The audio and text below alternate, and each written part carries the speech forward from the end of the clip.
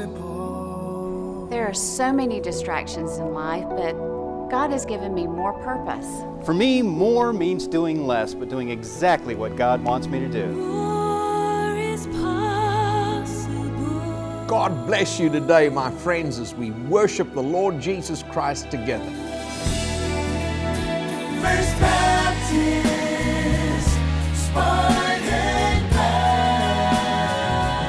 The encouraging word for December the 22nd, 2013. In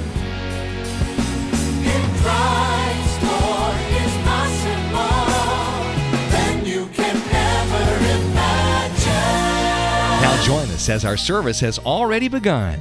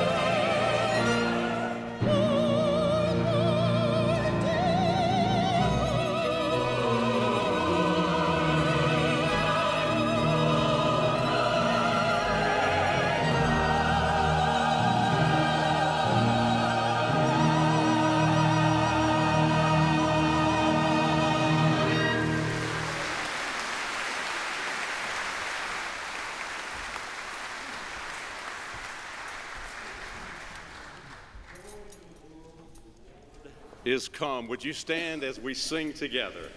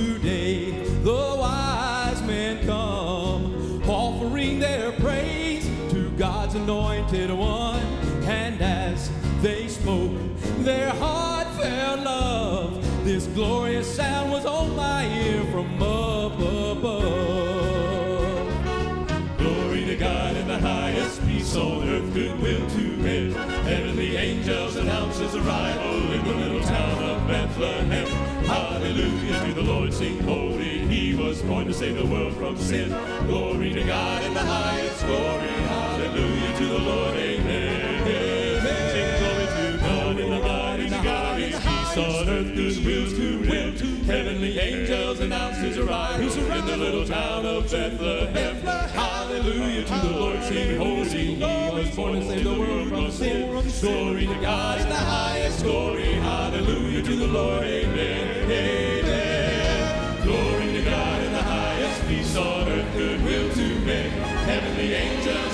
Announce his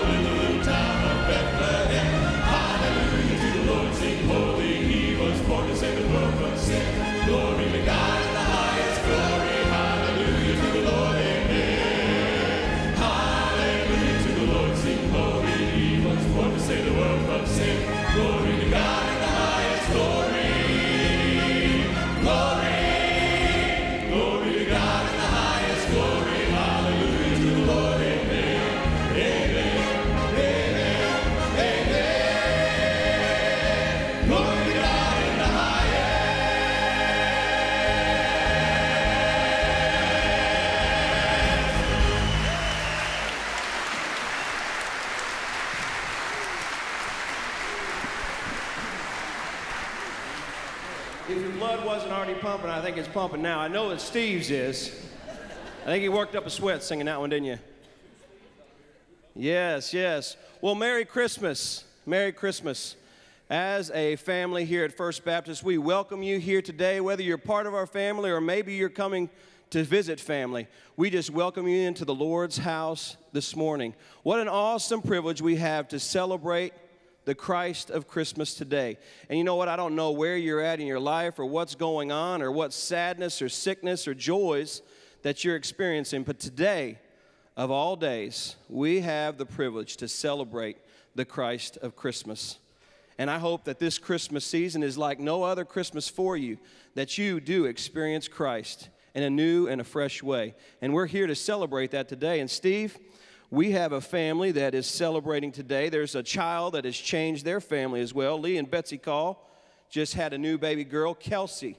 And I know that they're celebrating. But you know what? The greatest thing that we celebrate today is that there was a little child that God sent, Christ Jesus, into a little manger so long ago that he today is still changing people's lives forever.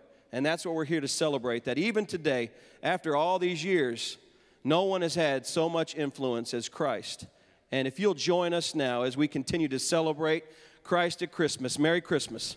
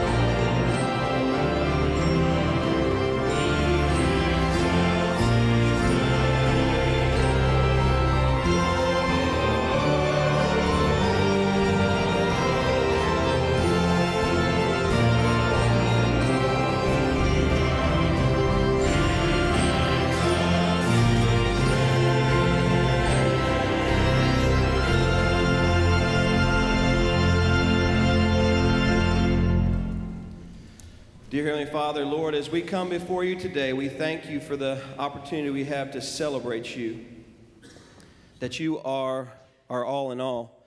And Lord, as you gave your Son, Jesus, to be the perfect gift and the perfect offering on our behalf, Lord, today we come before you with our tithes and offerings and ask that you would bless them and that you would multiply them and that you would be, continue just to change lives as only you can do. Lord, we give this time, we give all that we have to you this morning. In Jesus' name we pray. Amen.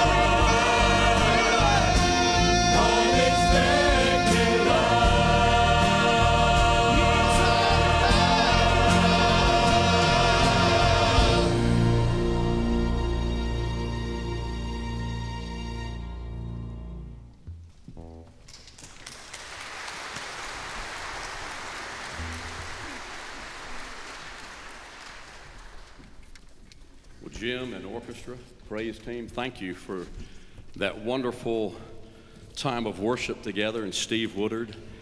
Tonight, that's one of the songs that we're going to sing, and there will be several others. Our program tonight is about about an hour long, and uh, we want you to be here. It's going to be a very special time where we've asked our Genesis worship family to come across the street, join with this orchestra and our praise team and our soloists, and it's going to be a wonderful night beginning at 7 o'clock. I hope that you're here.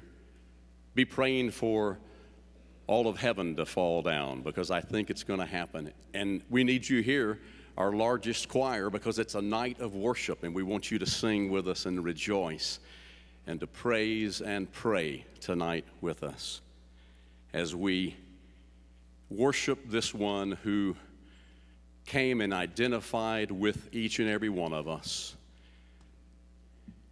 and was born in a lowly stable, a place where the animals ate that hay, our sweet little Jesus boy.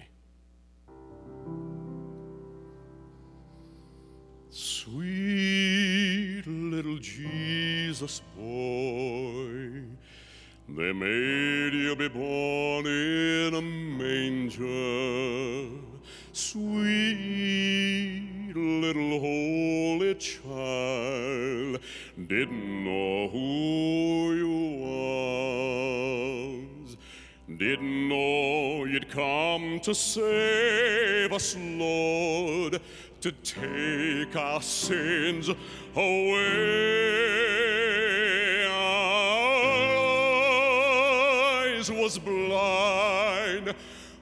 Could not see.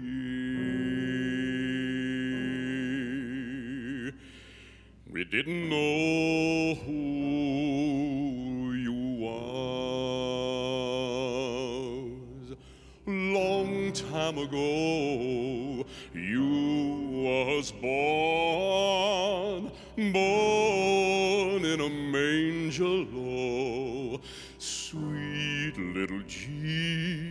Jesus boy. The world treat you mean, Lord. Oh, and they treat me mean too. But that's how things is down here. We don't know who you is. You done told us how, and we we's a trying, Master. You you done showed us how, even when you's dying. Just seems like we can't do right.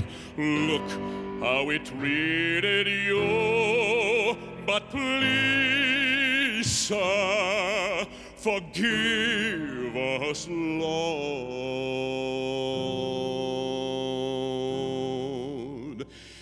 We didn't know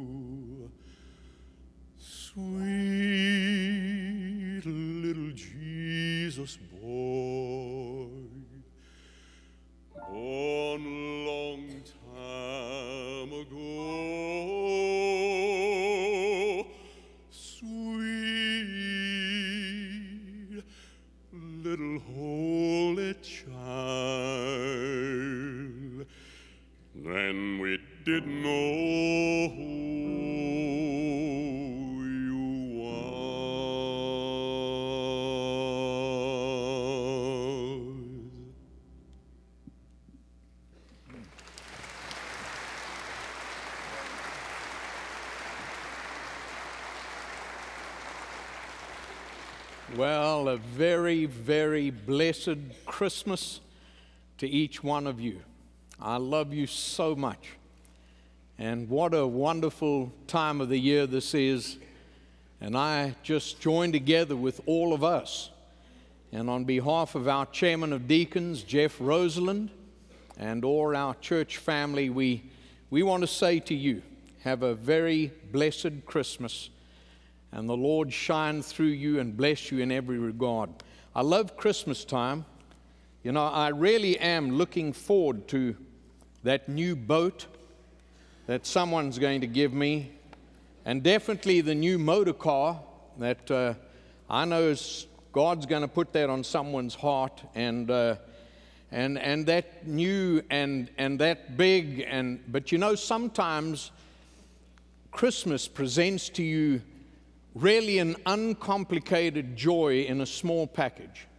And so I, my wife and I went to the Mike Swaim and David Holiday Christmas party the other night. We had the best time ever. They gave me a gift, and I was just so touched. So I thought I would show you what people in our church gave their pastor. It's a bobblehead. And how they got it to look like me, I don't know, but it does. And uh, I thought I'd let him preach today. but you know, it just makes me think of how. What was that? It just makes me think of how really uncomplicated Christmas is. But now I'm going to tell you something, folks. I'm going to leave him there just for a minute. I, I'm going to tell you, I said just for a minute. I'm going to tell you, if you.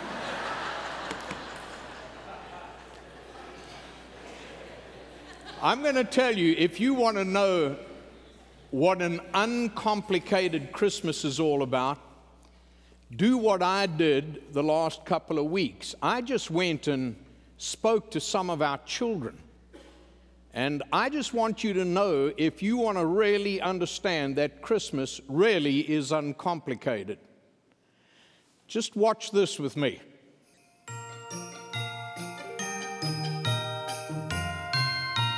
Where was Jesus born? In a manger. In a manger. Where? In Bethlehem. Where?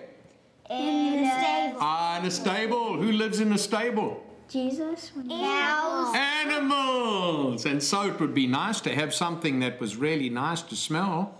Maybe like potpourri or something, eh? Which is better? Being born in a stable or being born in a hospital? Yes. Hospital. Why? Why are you staring at me like that? Because you want to be born in a hospital. Would you like to be born in a stable? Hospital. In a hospital. Where would you like to be born? Uh, stable. A stable. Why? They. Cause you. I like the animals are with me. You like the animals with you. And They they, live in me. but there are lots of animals in the hospital with you too. Mm-hmm. They're not animals in the hospital? No. There would be other but people, animals. but not animals. They're not dogs and cats and things in the hospital? That's a vet. Oh, that's a vet. I got that mixed up. You So how many of you Do would you like know anything in the world? what? How is he asking? No. I'm very happy that you are bringing me up to date, young man. Thank you.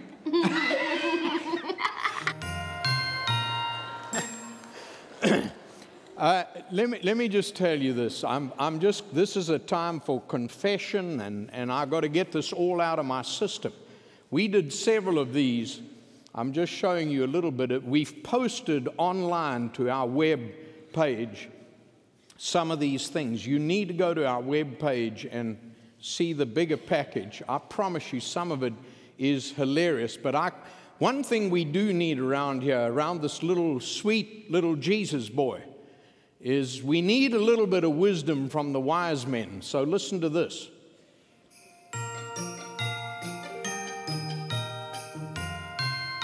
What three things did the wise men bring to Jesus? Yes. Gold. Gold? But there were three things Gold, silver, gold, silver. and You forgot. gold, silver, and silver. and silver. What about frankincense and myrrh? Now, frankincense and myrrh. Myrrh, how about myrrh? Listen, did the wise men bring Jesus mermaids? No. Yes. no. How would they bring mermaids? Fish. They would. Fish? They would carry them in a cage. Oh, no, I then they wouldn't see. Be, then they wouldn't be able to breathe, and mermaids aren't real. Mermaids are not real. Yes, I Okay, here's the big one. Are you ready? I believe in mermaids. Yes, yes. So, what three things did the wise men bring to Jesus? Yes. Frankincense. And? Gold. Gold and? Myrrh. Myrrh. What's myrrh? Huh? Myrrh? What is that? I don't know. I don't know either. What were the three things that the wise men brought to Jesus? Can you remember what they were? Yes, Gold, frankincense, and myrrh. you got it. What is myrrh? uh, Like silver stuff. Okay, do you think maybe it smelled nice? Yeah. Huh? You think it had a nice smell to it? With perfume. Yes. All right, let's give our children a big hand, shall we?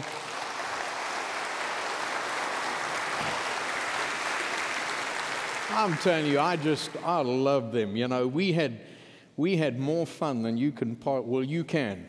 Just imagine. I, you wouldn't believe what one of those little kids said to me. Because one of the questions I asked them is, How old is Santa? Now, you need to ask that question. How old is Santa? You'd be surprised what they told me. But the bottom line was, they obviously, that Santa is old like me. And one of them turned to me and said, You're old. And by the way, there's a grandmother out here. I need to meet you because you're only 50 and you're old too because they said it. And I also want you to know that there's a daddy sitting out here somewhere. Your granddaughter, your daughter said to me, answering a question, that she paints your toenails with nail polish. So, what I did was I held all this out. I said, We are not going on public television with something like that because there is a man here whose reputation. So, I'm going to ask everybody to bow their heads, and if you need to leave, now's a good time to go. Christmas is not complicated. I want you to open your Bibles this morning to Matthew chapter 1. Let's all open our Bibles to Matthew chapter 1. While you're doing that, I hope that you're going to join us tonight. I actually just came a minute ago from Genesis. That place is packed out. We've got two congregations meeting right now, and Genesis over the road, packed out, led by the Genesis team, Jared Espy, uh, the giftedness of Jay Arrington, and that whole team uh, together. The worship is phenomenal. I am so excited about tonight. Tonight is going to be completely different. It's going to be an hour of phenomenal worship, incorporating our Genesis team together with us right here at 7 o'clock tonight. And, and I want to encourage you to come and, and to bring your friends. We have loved Christmas on Main and the story of Christmas. And tonight at 7 o'clock, we're going to gather here, and for one hour, we are going to have a worship experience together. So I want to personally invite you to come, bring your friends and loved ones. And uh, let's be reminded that Christmas is not complicated. Matthew chapter 1, this is what the Bible says in verse 18. Now, the birth of Jesus took place in this way when his mother Mary had been betrothed. And that word, by the way, means that Mary had been promised to Joseph. Much like we use the word engagement. You know, you fall in love with someone and then you propose, and uh, the young lady, God willing, accepts. And don't we love those pictures uh, that we get uh, of, of some young man running around and finding a special place, and suddenly here comes the ring, and it's very romantic and it's a wonderful experience. And, and that ring is put on her finger, and it becomes a symbol of betrothment. Well, back in these days, they didn't quite do it like that. They didn't go to the local jewelers and find a diamond ring or a band of some kind and propose like we do. It was, there was all kinds of intricacies. Families were involved. And it was very binding. Now, folks, I want you to remember this. It was a binding betrothal. You didn't break off a betrothment because your whole family honor was bound in it. Reputation and honor and relationship. So, that little word there is very important that she was betrothed. It means that legally, according to the law of the land, she was legally bound to Joseph, but they were not yet married. They were not yet married. So let me read that again. When his mother Mary had been betrothed to Joseph before they came together, she was found to be with child from the Holy Spirit. And her husband Joseph, being a just man and unwilling to put her to shame, resolved to divorce her quietly.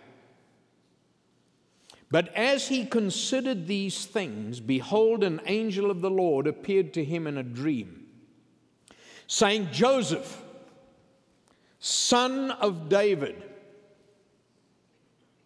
And incidentally, that little phrase is very important. I'm not preaching on that today. But that phrase there, Joseph, son of David, because the prophets told us that Jesus would be born of the line of David. So here we are in the story. Our whole church is going through the story together. And while I'm not particularly preaching on David today, we are right in the section in the Old Testament where we are learning incredible things about David. In fact, next week, the message God's put on my heart concerning David is phenomenal. You don't want to miss next week.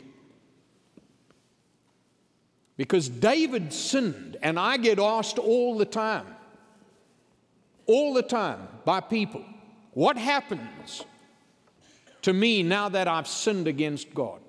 I'll guarantee you there is at least one person worshiping the Lord today that is watching, that is listening, that is worshiping God, and something went down with you. In your marriage, in your relationship, you just sinned against God. Is it over? Do you need to be run out of town? Can you ever come back? Is there any hope? Are you ruined for life? And if you've got a friend that you know needs to be here next week, you need to bring them. I'm going to be speaking about new beginnings. So when I look at that little statement there, that she was betrothed to Joseph, and that Joseph was a son of David. I want you to just think about this. He was of the same lineage in God's story as King David, who was the boy shepherd David, who now is Christ Jesus, the baby born in Bethlehem who is me. Because Christ comes to live in me.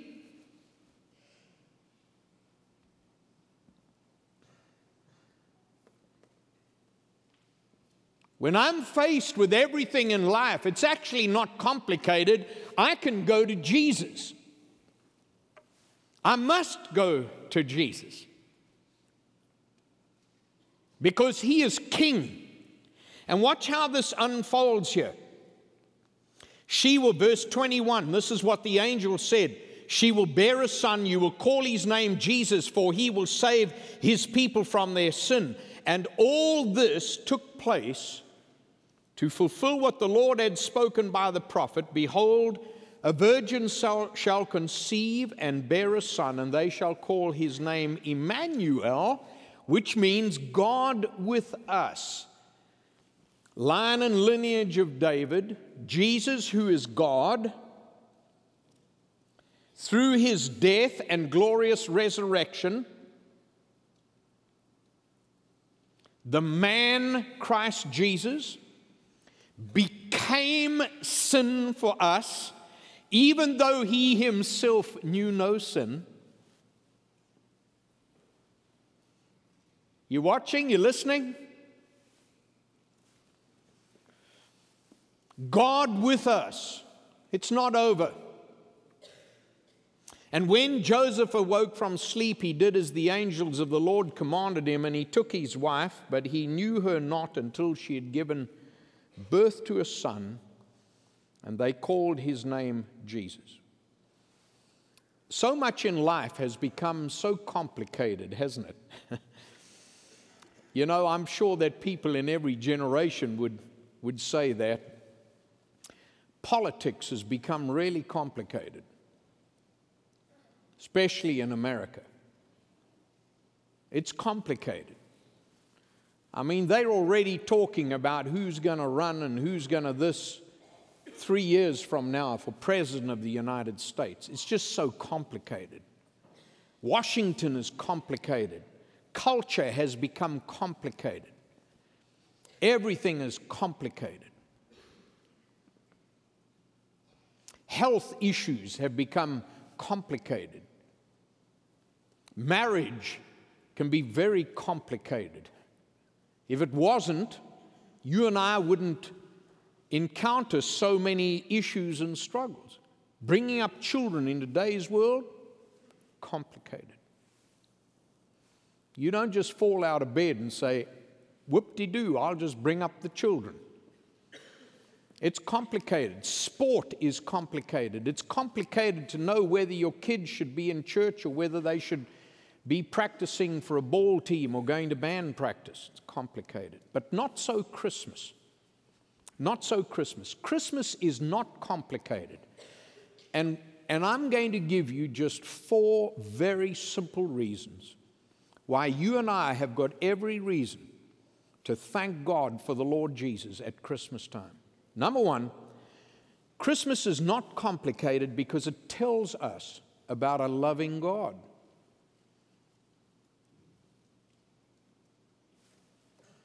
You know, I have a son and a beautiful daughter in law and three exceptionally wonderful little grandsons who live on the other side of the world. They are very far away from here. So, this is our first Christmas where our family is separated by thousands of miles. So, I had a chat with my son the other day, and one of the things that he said to me was, Dad, we miss you all so much, especially at Christmas. He said, but you cannot imagine what it's like to live in a land where nobody knows about Christmas.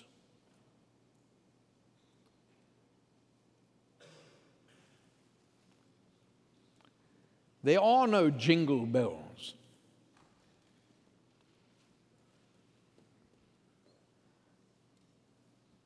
There's nothing. Todd and Jennifer are in the same position, and we could go on and on. I can't wait in just a minute to have a wonderful time of prayer for Bill and Christine Morris, two incredible people saying yes to the Lord, going to go overseas. They're going into a land, sure, you'll find it here and there. You see, folks, what's missing in countries where Christmas is not is the fact that Christmas tells us about a loving God. God loves you. If someone were to come up to me and say to me, Well, Don, what, what, what's Christmas? Well, it's about a loving God. For God so loved the world. Did you know that God loves you? He really does. Loving God, Creator, Redeemer, Savior of the world. But number two, it tells us about an historical fact. Christmas is not complicated because it tells us about an historical fact. Do you know that all the major religions of the world, let me just run this by again in case some of you missed it. All the major religions of the world do not dispute the fact that Jesus came to this earth and that he was crucified, that he lived a life. That is a fact of history. That's why, even in the Quran, Jesus is listed.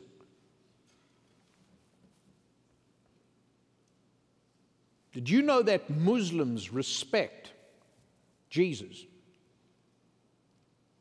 Because he is an historical fact. They do not regard him as the Son of God. Neither do they regard him as Redeemer, and most certainly not as Messiah, but they regard him as some great prophet, the last of which is Muhammad, their prophet. Christmas is not complicated. It tells us about a loving God and it tells us about an historical fact. In a couple of weeks' time, I'm taking a group of our folks. We're going to stand in places of history. In fact, the first two nights that we will be over there, we are staying in Bethlehem. First time I've ever done this in over 20 trips over there. We are actually going to spend the first two nights in Bethlehem. I can hardly wait. Historical Bethlehem.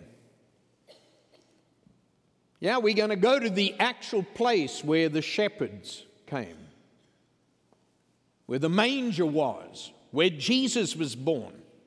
We're going to look down toward Nazareth, from whence came his mother and father.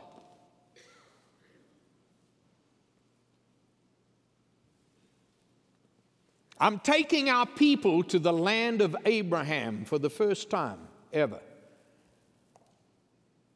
I'm going to take our people to where Abraham went, the big trees of Mamre, where God spoke to him, where Abraham and Isaac and Jacob are buried. the Romans, King Herod was not some kind of mystical figure. We're talking about historical fact. Christmas is really not complicated because it tells us about a loving God and about an historical fact, but it also tells us about a wonderful event. Christmas is about an event, it's about the birth of Jesus. It's, a, it's really a beautiful event. I, I love it when we hear of couples in our church that have been blessed with a child. You know, it's just a, it's a beautiful thing. It's a blessed thing. and uh, we've all gone through those experiences. Children, grandchildren, we brag to each other. The birth of a baby is a, is a very precious thing. That's what this is. It's really not complicated. it's about a group of shepherds watching over their flocks at night, getting scared half to death on a dark hillside on the outskirts of Bethlehem, the foothills of Jerusalem. It's about angels, about wise men. It, it tells us about a wonderful event. It's not complicated.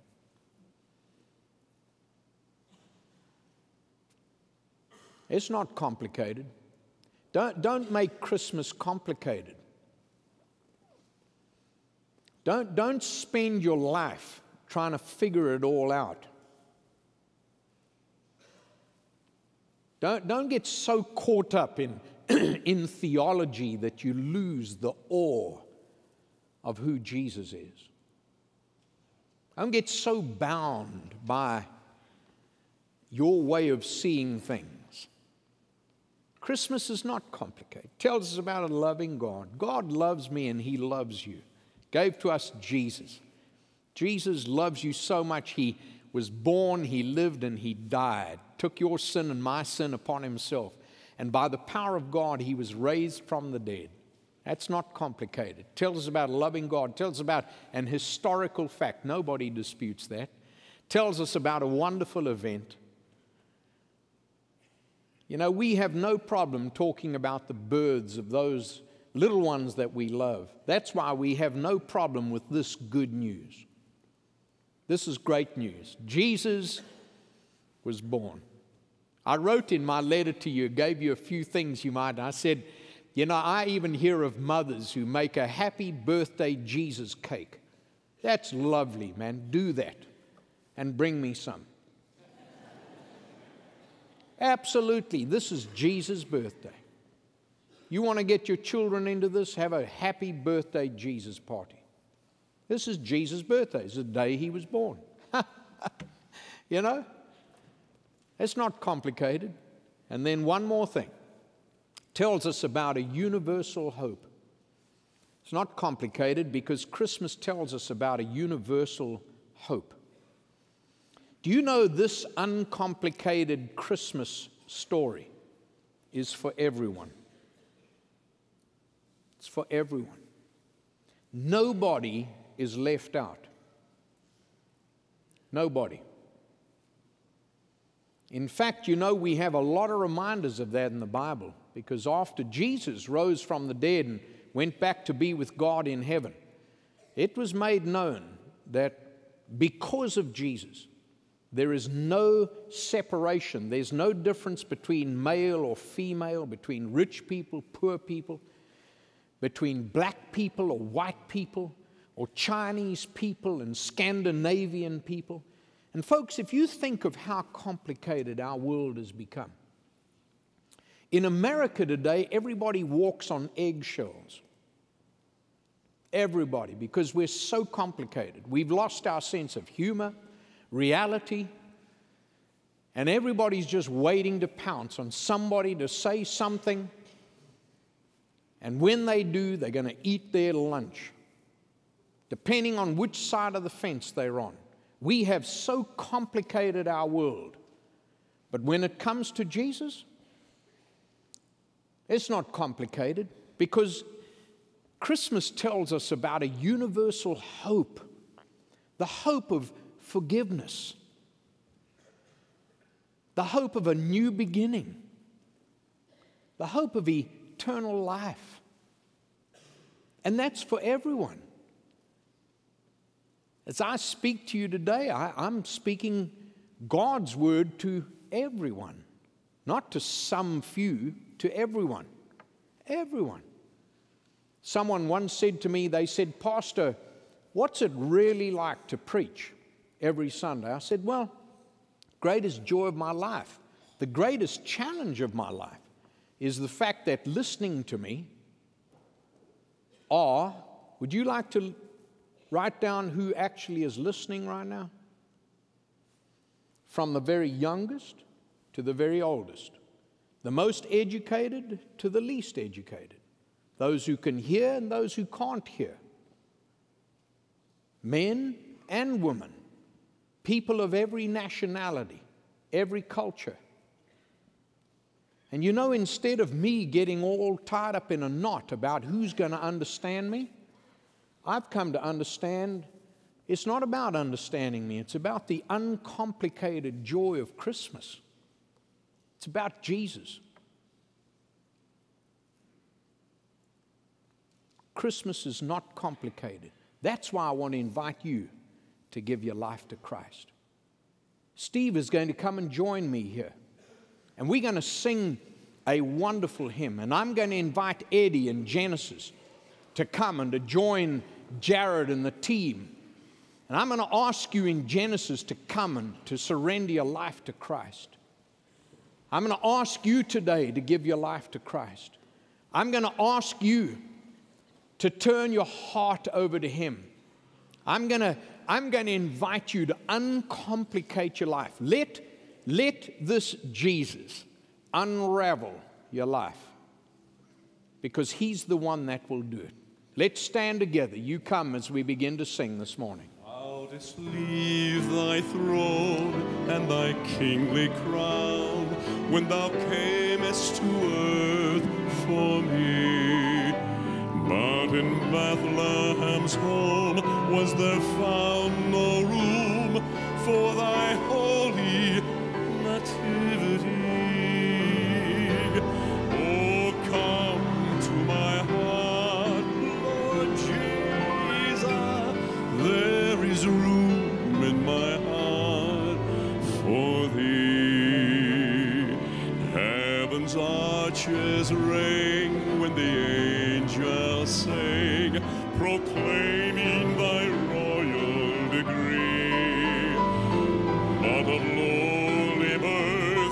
thou come to earth, and in great humility.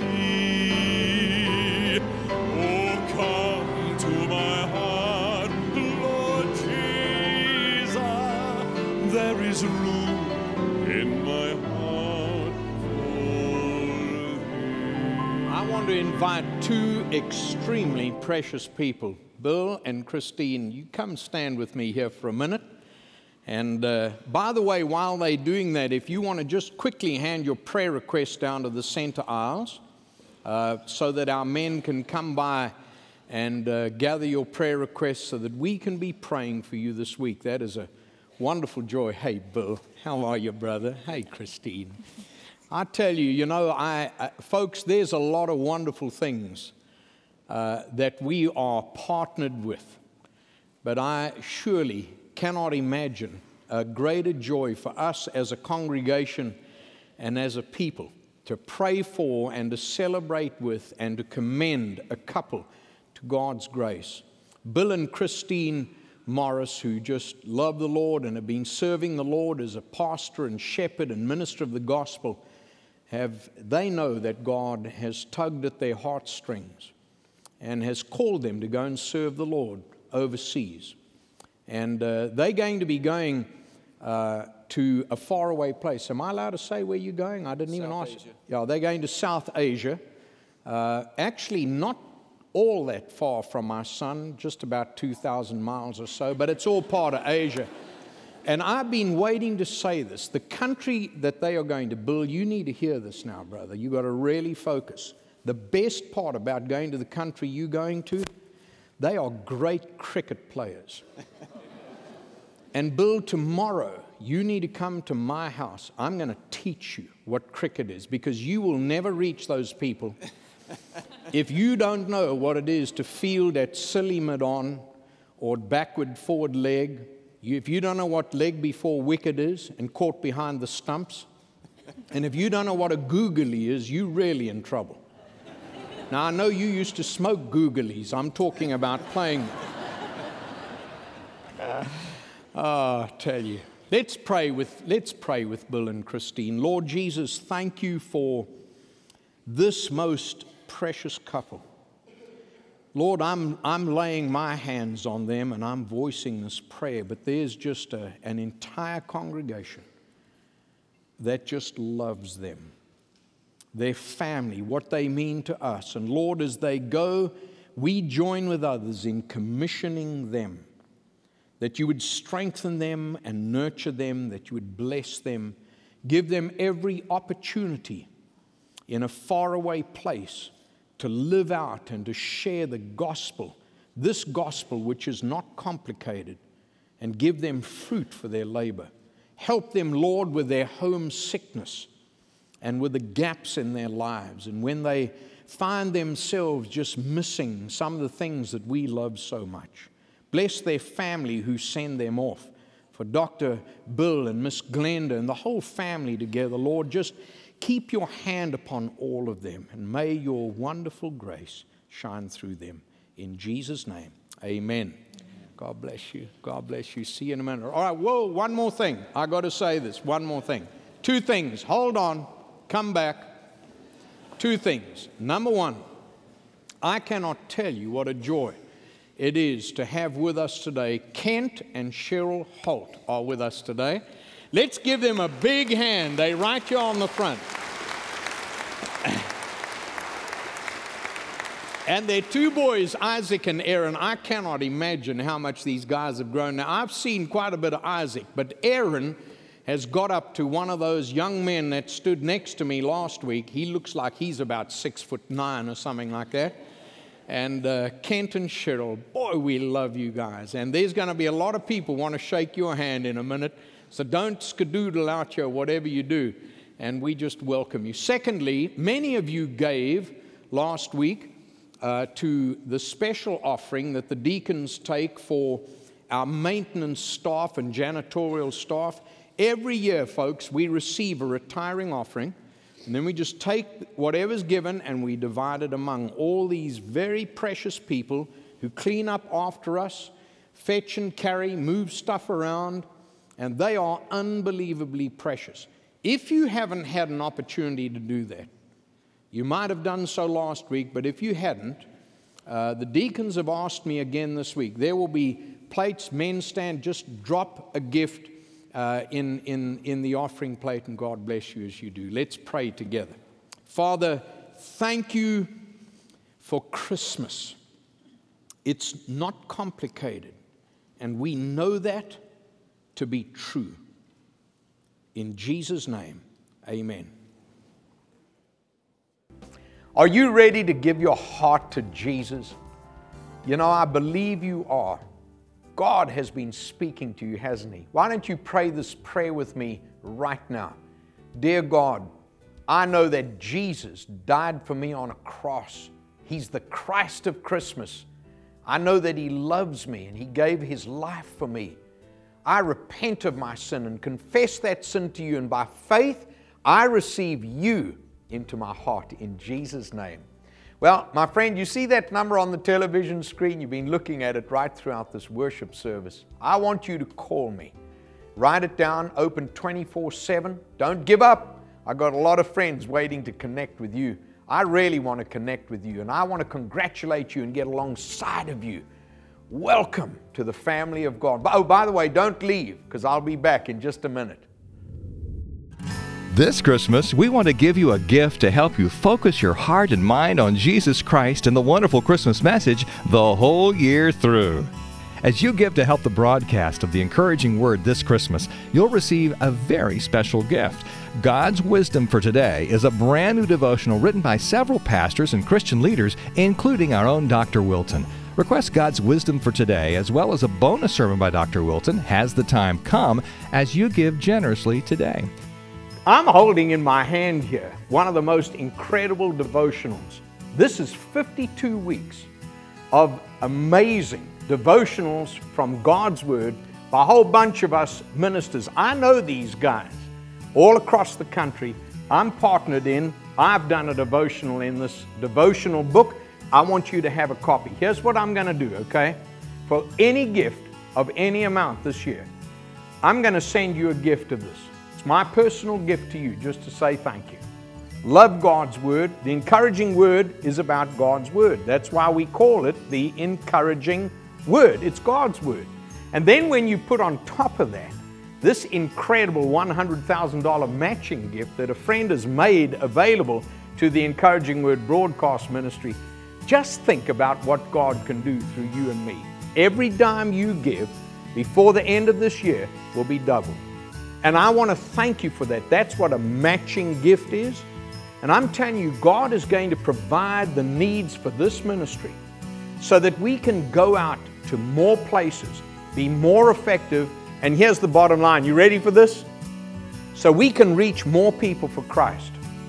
Now that's a deal. Please be generous during this holiday season and see your gift doubled in impact to encourage our ministry together now and in the new year. For more information about this exciting opportunity, write to us at Post Office Box 2110, Spartanburg, South Carolina 29304, or call us toll free at 866 899 Word, or visit us online at theencouragingword.org. Thank you so much for your continued support of the Encouraging Word.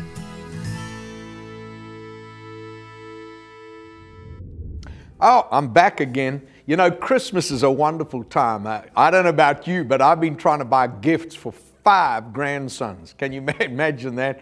And I tell you, gifts, you know, they're wonderful to give, but they cost, don't they? I want to give you something absolutely free. I want to send to you the Daily Encouraging Word Bible Guide. This is something I've prepared for you. We send these out all across our nation gives a word from God's word that you can hide in your heart, you can hold your heart, daily readings, little word from me. I promise you this will be a blessing. You can call that number on the television screen. I'm going to send you this free of charge just to ask. Call us, write to us, email us. Do whatever it takes. Just let me know because I want to give you a free gift this Christmas the Daily Encouraging Word Bible Guide. Call us, let us know. I just love you. Can't wait to see you again next week.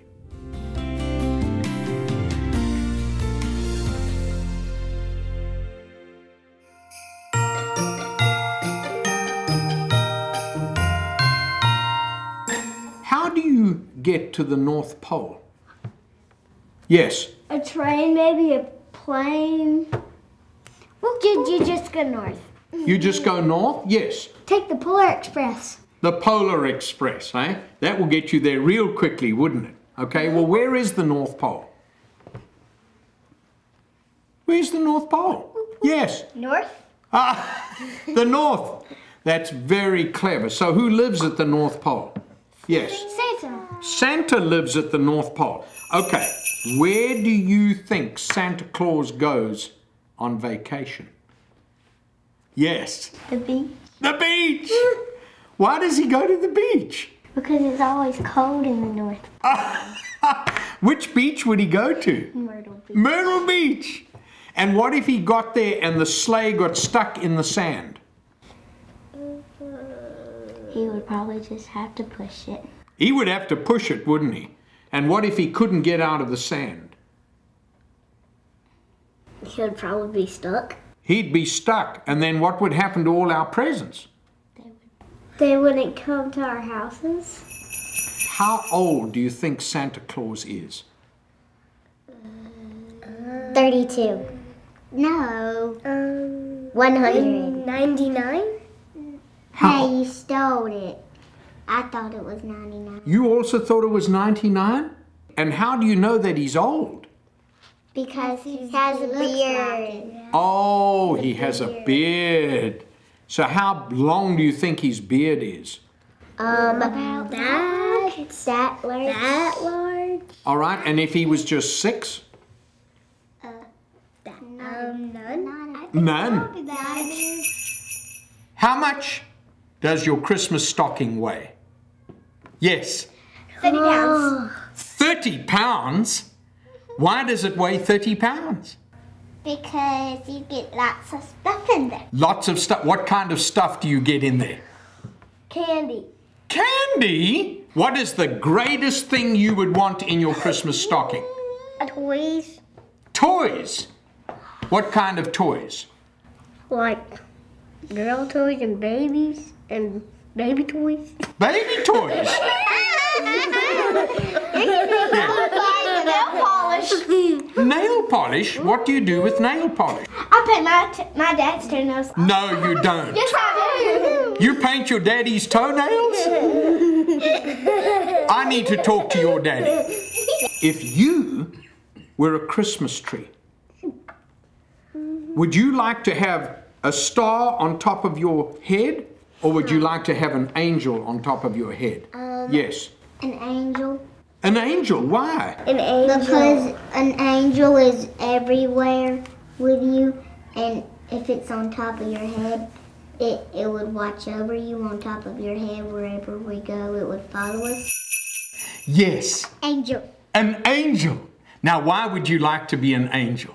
Um, because they can fly. Because you can fly. Oh, so that's what angels do. They fly. Isn't that great? And what's so special about angels and Christmas? Yes. Because um, the angel told Mary and Joseph that they were going to have Jesus. Oh, they did. They came to make an announcement, and I think that's what you were trying to say about having an angel on your head, because it's all about the announcement about Jesus, isn't it?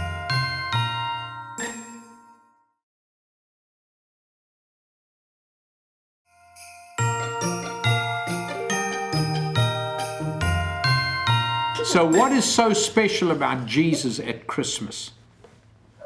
Yes. Is it birthday? It's his birthday. It's his birthday. And what would you want to know about Jesus at Christmas? Yes, Um, he's special. very special. Yes. How is it like to like be born in a manger, not in a hospital they're in? Oh, I think that's a great question, isn't it? And do you think Jesus will be able to tell us one day? I think so. When do you think that day will be that he can tell us that? When I get to heaven. I think when we get to heaven, hey. When Well- I get old. When you get old. Okay, here's Not my. like when I'm like you. When you like me. that was not. Am, am I old? No. I'm not. You're my grandma's age, not you know. Oh, I'm your grandma's age. My Okay. grandma's about My grandma's like 50 or something. She's old. What? Huh? what? Your grandma. Our grandma is not old. She's not. Our great grandma is old, but not our grandma. So am I a great grandpa or a grandpa? A grandpa. I'm a grandpa, so I'm not old. 100 or something, grandpa. Oh, are you ever going to be old? Oh, maybe. Maybe. One day. So how, okay, here it is. You ready? So how old is old? Like really old, like you. what? Like me? Like a, a scale from Like Santa Claus? 60 to a hundred. Probably about like Santa Claus. 60 to 100, but now that's old. Mm-hmm. What about 1,050? So are you saying that I could be like Santa? Yep, yep. Maybe like probably, but you're not right 52, now. But probably like When you eat a lot of cookies, you might get fat like Santa. And do you think he drinks milk? yeah. yeah, Jack. He does? He does? But of course, now Santa, if Santa is old, what happens when I don't know how to drive a sleigh? What? You, when you get old, you're very wise because you've been on the earth for a long time. Ah. So you would probably know how to drive a sleigh. Oh, thank you. So I qualify to be Santa. Yes. I love that because I love you. Want to you. be Santa? he would get to deliver all the presents. He would be fat. Am I fat? No. No. You look kind of skinny. I do? Yeah. So do you have to be fat to be Santa? Yes. Yes. Yes. You have to be chubby like Grandma Moses. What? Oh, oh, okay.